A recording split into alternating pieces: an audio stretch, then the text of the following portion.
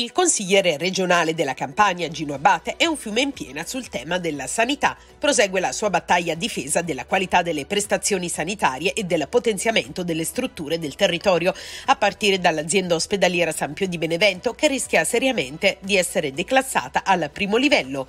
La mia, detto ai microfoni di TV7, non è una battaglia personale, ma è una chiara difesa dei cittadini del Sagno. Si è rischiato un blocco delle attività dei medici del pronto soccorso, poi rientrato Ascoltiamo cosa ha aggiunto nell'intervista rilasciata alla nostra emittente.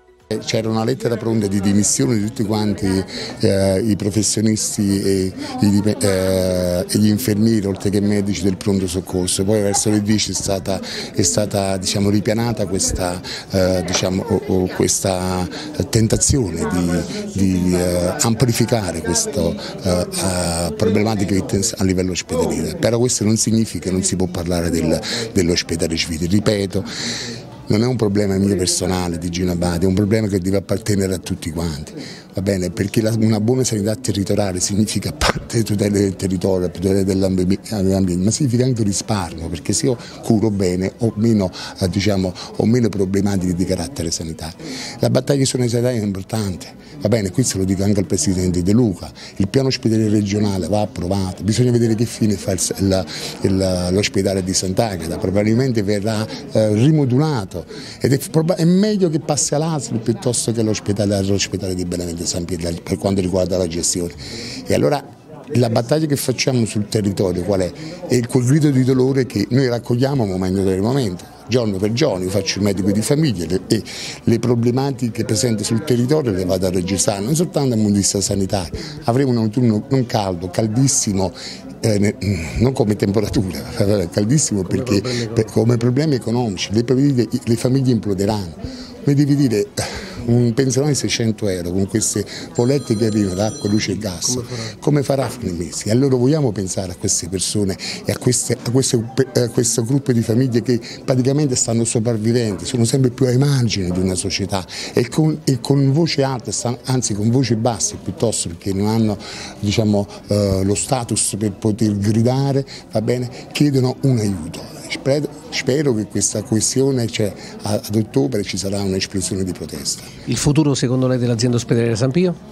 Il futuro va rimodulato altrimenti verrà declassata a primo livello. Questo significa perdita a livello eh, territoriale di un punto di riferimento, cioè quell'eccellenza che c'era stata con la Mussi oggi, oggi eh, non ci sarà più e neanche domani. Certamente l'ultimo dirigente è, stata, è, stato praticamente quando di peggio si poteva vedere il territorio, ha completamente, eh, ha completamente appiattito verso il basso le prestazioni, le prestazioni eh, professionali all'interno del Sampia. C'è una volontà secondo lei? Secondo me sì, c'è una una volontà, io non so se il killer è stato il manager, il manager eh, precedente, contro cui abbiamo fatto anche delle vere nel silenzio assoluto, ripeto, dalla, della stampa per amplificare perché questo disagio, perché questa manifestazione così forte. Vabbè, nessuna formazione politica, nessuna formazione politica ha avuto il, diciamo, eh, quantomeno l'intuizione di parlare, di mettersi al tavolino, di gridare fortemente ciò che vorremmo per il nostro territorio e per i nostri, e per i nostri cittadini. È una battaglia forte, è una battaglia territoriale, io credo che chi la dovrebbe interpretare è una doveva essere quelle persone che si mettono contro tutte e tutte a tutela bene, dei diritti dei cittadini. Con l'entusiasmante show dei ricchi e poveri è calato il sipario sulla 43esima edizione del Festival Benevento Città Spettacolo. In una stracolma piazza Risorgimento lo storico duo nato a Genova nel 67 con Franco e Marina, Angelo e Angela hanno proposto tutte le hit del loro vasto repertorio da Mamma Maria alla prima cosa, da Che sarà a Sarà perché ti amo e tante altre ancora, brani cantati a squarciagola dai numerosissimi fans. Emozionante e divertente allo stesso tempo un bel siparietto con oltre una ventina di bambini di Benevento. Saliti sul palco per cantare con Angelo e Angela la storica Voulez-vous danser? Tra gli applausi dei genitori e dei supporters che hanno riempito in ogni angolo Piazza Risorgimento. Non è mancato infine l'abbraccio con il loro amico Clemente Mastella, sindaco di Benevento, che ha voluto ricordare con piacere i loro piacevoli incontri in un periodo ed in un paese che viveva tempi migliori. All'insegna anche della spensieratezza legata alla gioventù. In vista delle elezioni per il rinnovo del Parlamento italiano del 25 settembre, l'ufficio elettorale del Comune di Benevento ha provveduto a sorteggiare i nomi dei 300 scrutatori che costituiranno, insieme ai presidenti, la rete dei 78 seggi, dei quali 6 speciali, compreso quello dedicato ai degenti affetti da Covid-19 presso la sede dell'azienda ospedaliera San Pio di Benevento. Se si candida a Mastella con la moglie, i falsi moralisti sollevano un polverone, si candidano le mogli di Franceschini, Fratoianni, di Berlusconi e tutti sono muti, nessuno eccepisce alcunché. Il dato vero è che io ho preso un impegno con la mia comunità di restare sindaco di Benevento. Così, in una nota, Clemente Mastella. Mia moglie Sandra, senatrice uscente, saprà farsi scegliere dimostrando ciò che ha fatto per il territorio. È singolare questo atteggiamento nei suoi confronti, è una cosa immorale mai vista nella storia repubblicana soli contro tutti, ma forti di essere radicati sul territorio perché noi ci siamo sempre. Chiedo ai cittadini di andare al voto per difendere i loro interessi, noi ci siamo sempre stati e ci saremo sempre.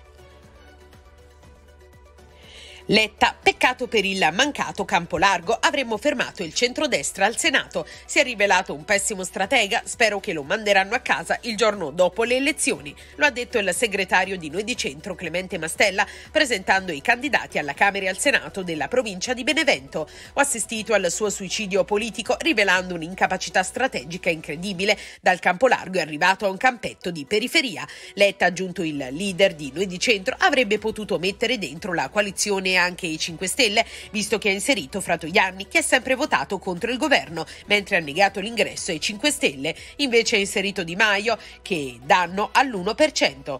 Son ragazzi, ha concluso ironicamente Mastella. Le conseguenze di una crisi non sono mai uguali per tutti, soffre di più chi già si trovava in una condizione di difficoltà e marginalità.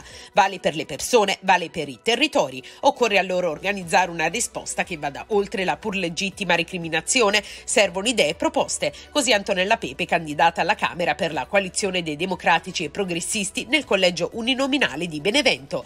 Per questo va sostenuto e apprezzato il lavoro messo in campo nei giorni scorsi dai vescovi riunitisi a Benevento, alla politica politica, prosegue l'esponente del PD, i vescovi chiedono di rompere schemi oramai sclerotizzati e di puntare sulla progettualità prospettica, un invito che va colto da parte di tutti.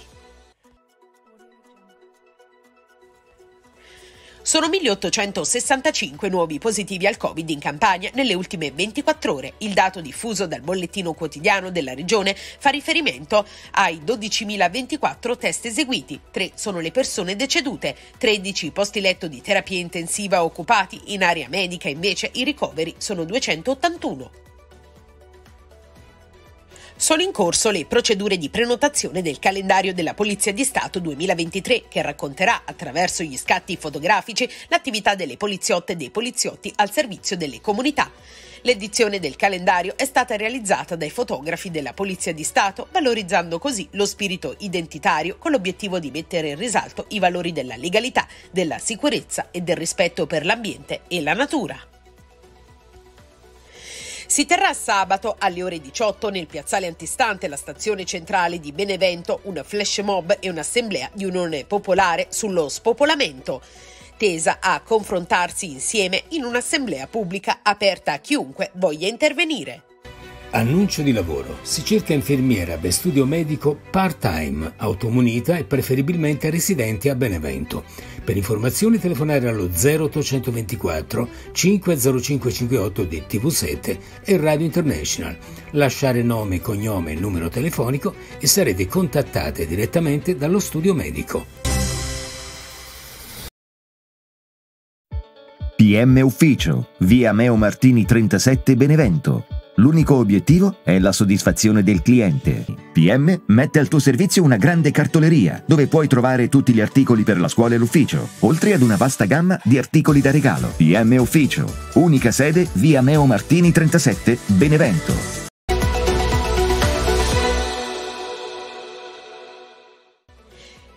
Benevento Calcio comunica ufficialmente la chiusura della campagna abbonamenti per la stagione 2022-2023. Sono 7.137 le tessere emesse. Questa la dichiarazione del presidente Oreste Vigorito.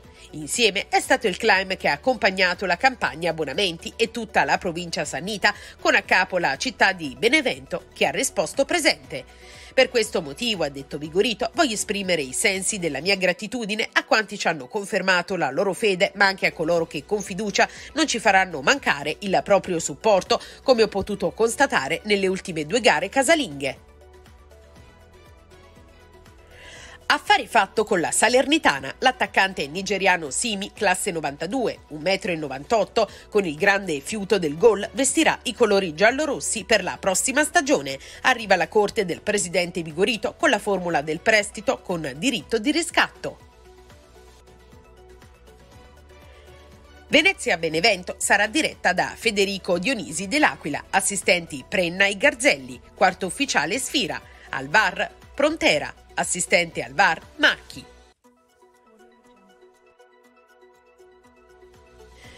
Gli uomini di mister Fabio Caserta si sono ritrovati presso l'antistadio Imbriani per la prevista seduta di allenamento a porte aperte. I giallorossi, sotto un'abbondante pioggia che ha condizionato anche la presenza dei tifosi sugli spalti, hanno svolto lavoro di attivazione motoria, rondò, esercizio ludico e costruzione con conclusioni. Per la prima volta si sono allenati con i nuovi compagni Kubica e Simi, autore peraltro di un gol nel corso della partitella organizzata dal tecnico. Un mese di stop invece per il centrocampista Viviani che non ha preso parte all'allenamento a causa di una distrazione muscolare all'adduttore e alla coscia sinistra. Non si è allenato l'esterno Letizia per una botta alla spalla, sarà abile ed arruolato per la gara di sabato pomeriggio a Venezia. Il programma dei giallorossi prevede ancora una seduta mattutina a cui farà seguito a partire dalle 12.30 la conferenza stampa congiunta del tecnico Fabio Caserta e del direttore sportivo Pasquale Foggia. Nel rush finale di calciomercato il Benevento piazza gli ultimi colpi. È ufficiale l'addio del difensore Federico Barba che si trasferisce al Pisa. Al suo posto arriva sempre dalla società nerazzurra il centrale difensivo Maxime Leverbe, classe 97, oltre ad 800 mila euro per il cartellino di Barba. Il giocatore francese dunque termina in anticipo la sua avventura alla Sampdoria ed ha deciso di interrompere il prestito con il Pisa per liberare un posto in lista. Operazione chiusa anche per il ritorno in giallo-rosso di Pasquale Schiattarella, svincolato dal Parma per dare maggiore qualità al centrocampo del Benevento. Nuova tappa per il tour di Sport 7 Live Estate. Sabato 3 settembre, dopo il successo dei giallorossi di mister Fabio Caserta contro il Frosinone, in occasione dell'importante gara Venezia-Benevento, valida per la quarta giornata d'andata del campionato di Serie B, TV7 a partire dalle 13.30 sarà ospite dello Sporting Club e ristorante Acquamare di Vasto. Un set suggestivo di grande qualità strutturale inaugurato poco prima dell'estate, che renderà ancora più avvincente il format dedicato al calcio, condotto dal giornalista Alfredo Salvini. Calzano, divenuto itinerante con una formula apprezzata dai telespettatori e dai numerosi partner commerciali che hanno creduto in questo progetto di comunicazione dell'editore Mario Del Grosso. Il centro Sporting Club e il ristorante Acquamare di Vasto è caratterizzato da tre campi di tennis in terra rossa, due campi di padel, uno stadio di padel coperto ed un campo da padel per singolo. Nelle prossime settimane saranno ultimati i lavori di un ovale in erba circondato da pista di atletica con annessi spogliatoi, ma le sorprese non finiscono qui. Il salotto balneare di TV7 riserverà come sempre un accesso diretto ai canali di comunicazione per garantire ai telespettatori e agli internauti la loro presenza in diretta televisiva e social. Appuntamento dunque a sabato 3 settembre a partire dalle 13.30 dal complesso turistico Sporting Club e ristorante Acquamare di Vasto in diretta sui canali di TV7 per seguire il commento della gara Venezia-Benevento. TV7 da sempre al fianco dei colori giallorossi e della corretta informazione dal 1983. PM Ufficio, via Meo Martini 37 Benevento. L'unico obiettivo è la soddisfazione del cliente. PM mette al tuo servizio una grande cartoleria dove puoi trovare tutti gli articoli per la scuola e l'ufficio, oltre ad una vasta gamma di articoli da regalo. PM Ufficio, unica sede via Meo Martini 37 Benevento. È tutto con questa notizia, vi aspettiamo alla prossima edizione del VG7 Flash oppure vi invitiamo a consultare la versione online delle nostre news www.tv7.net oppure sull'app TV7 Benevento scaricabile gratuitamente su tutti gli smartphone.